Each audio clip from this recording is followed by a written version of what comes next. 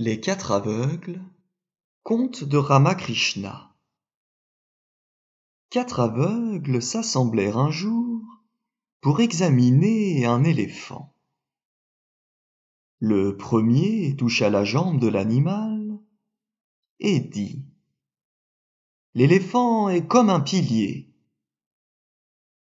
Le second palpa la trompe et dit à son tour L'éléphant est comme une massue.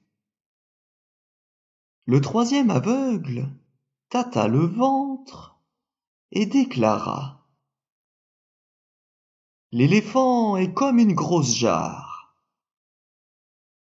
Le quatrième, enfin, fit bouger une oreille de l'animal et dit à son tour L'éléphant est comme un grand éventail. Puis ils se mirent à se disputer sur ce sujet. Un passant leur demanda la raison de leur querelle. Ils la lui exposèrent et le prirent comme arbitre. L'homme déclara Aucun de vous n'a bien vu l'éléphant. Il n'a pas l'air d'un pilier, mais ses jambes sont des piliers. Il n'a pas l'air d'un éventail, mais ses oreilles éventent.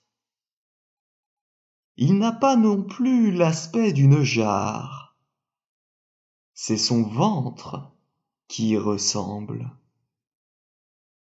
Il n'est pas une massue, c'est sa trompe qui est semblable à une massue. L'éléphant est donc une combinaison de tout cela. Jambes, oreilles, trompe et ventre. Ainsi se querellent ceux qui n'ont vu que l'un des aspects de la divinité.